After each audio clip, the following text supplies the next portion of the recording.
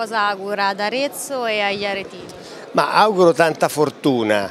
Eh, la fortuna da sola serve a poco, ma a volte serve a poco da sola anche l'abilità e l'impegno, quindi è una, una miscela di abilità, impegno e fortuna che può fare veramente risorgere questa città. Eh, siamo sulla strada giusta, i miei concittadini hanno riacquistato con orgoglio a dichiararsi aretini a tutti gli effetti, eh, sono passati momenti brutti della crisi economica, della crisi di Banca Etruria che ci ha portato tanto male e oggi la città si sta riconoscendo, si sta riscoprendo, quindi l'augurio è che il 2019 sia migliore del 2018, ma che effettivamente la città ritrovi questa coesione interna che è fondamentale per qualsiasi tipo di crescita. Come si chiude infatti questo 2018 e cosa si augura per eh, il 2019? Ma si chiude con una grande eh, manifestazione che ha portato in città tantissimi eh, turisti, tantissime persone interessate a quell'evento, ma che venendo in città per